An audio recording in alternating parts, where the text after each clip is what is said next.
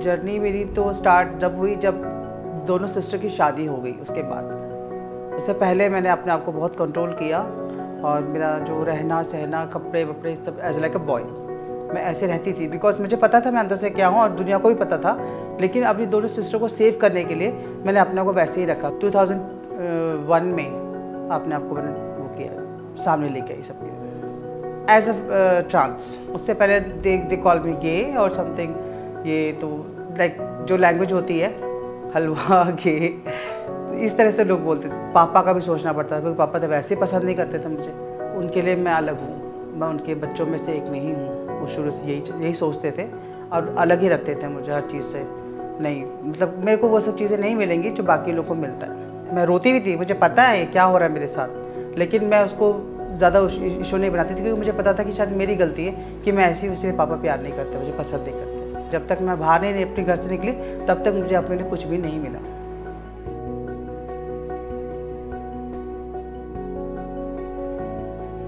बाहर निकलने के बाद तो सिर्फ़ स्ट्रगल ही शुरू हुआ टेंशन शुरू हुई प्रॉब्लम शुरू हुई, क्योंकि जब मैं निकली थी, मेरे पास कुछ नहीं था।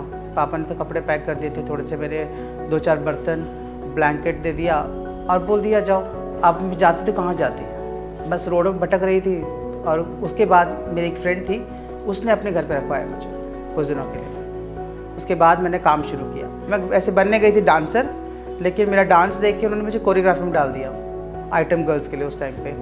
उस टाइम डांस ट्रूप में एज अ कोरियोग्राफर थी। और फिर मैंने अपनी लाइन चेंज करी कोरियोग्राफी से फिर मैं शेफ लाइन में आई।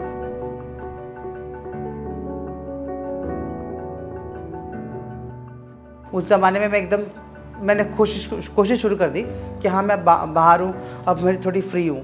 लेकिन फिर भी अपनी दोनों सिस्टर्स के लिए सोचना पड़ा था, जब तक वो लोग सेटल नहीं हो जाती तो मैं कोई स्टेप नहीं उठा सकती। मेरे से छोटे वाली सिस्टर की शादी हो गई, और उसके बाद मैंने उससे और मेरी दूसरी छोटी सिस्टर से शेयर किया। जब हम फ्रेंड बन गए, जब मैंने बताया तो उन्होंने बोला, नहीं, तू अपनी ज़िंदगी भी जी। हमारे लिए मैं सोचा कर हमेशा, क्योंकि हम तो अपनी ज़िंदगी जी लेंगे एक दिन अपने घर चले जाएँगे, पर तेरा कोई नहीं रहेगा बाद में। इतने साल काम करने के बाद, अब जाके 2018 में, फिर मैंने अपना एक्सचेंज ऑपरेशन करवाया।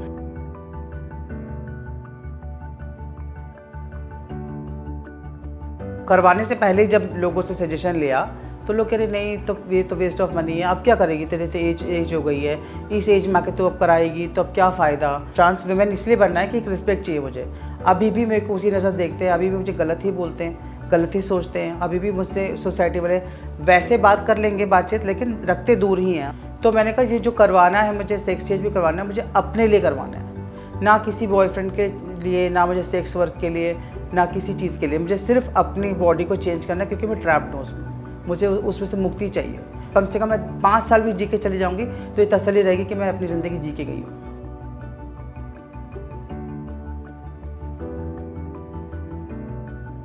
मुझे तो एक इंसान चाहिए जो मुझे केयर करे। वो वो नहीं मिलता क्योंकि मैंने कोशिश मैंने हर बार, मेरी तरफ़ से कोशिश अच्छी रही कि मैं एक रिलेशन को संभाल सकूँ, अच्छे से बना सकूँ, लेकिन हर बार यही होता है कि उनकी तरफ़ से वो वीक पड़ जाते हैं। डेटिंग का तो मेरा कोई सीन नहीं है। अभी भी लाइन लगी हुई है, लेकिन मैं किसी को हाँ नहीं बोलती, क्योंकि मुझे उन चीज़ों से बहुत डर है जो आगे आने वाला है। कौन इंसान कहाँ जाके आ रहा है? यहाँ तो अच्छी अच्छी लड़कियों के साथ भी धोखा हो जाता है तो हम तो कुछ भी नहीं है। लड़के हमारे साथ भी खेल जाते हैं। आते हैं तो थोड़ा टाइम पास करते हैं, लेकिन जब बात आती है सेटल होने की तो नहीं यार, तू लड़की होती तो कर लेते। और बच्चा नहीं हो सकता ना, और फिर घर वाले एक्सेप्ट नहीं करेंगे, फिर सोसाइटी क्या बोलेगी? मैं खुश हूँ, जैसे जैसे भी हूँ, भगवान ने बनाया, खुश हूँ, बस इस ज़िंदगी को अच्छे से जीना मुझे। प्रॉब्लम नहीं चाहिए उसमें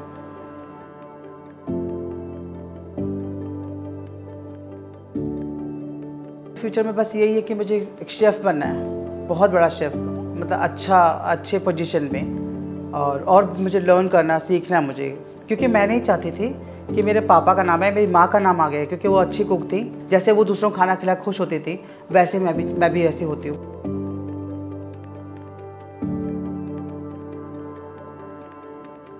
एक जॉब एक घर अपना, और एक पीसफुल लाइफ जहाँ पे किसी का टेंशन नहीं, कोई बॉयफ्रेंड नहीं, कोई हस्बैंड नहीं, कोई परेशान करने वाला नहीं। बस अपने घर में काम से आऊँ अपने घर को साफ़ सफ़ाई करके खाना बनाऊँ, अपनी पसंद का उसे खाऊँ, अपने पेट्स जो मेरे बच्चे हैं, उनके साथ खुश रहूँ और उनके साथ ही सोना। और मेरा मतलब मैं सिनेमा हॉल वगैरह जाती नहीं हूँ सोसाइटी की वजह से, क्योंकि लोग वहाँ पे भी बहुत तमाशा करते तो घर में बड़ा स्क्रीन हो और घर में बैठ कर अपनी पिक्चर इन्जॉय करूँ। और कोई नहीं, यही मेरी लाइफ है।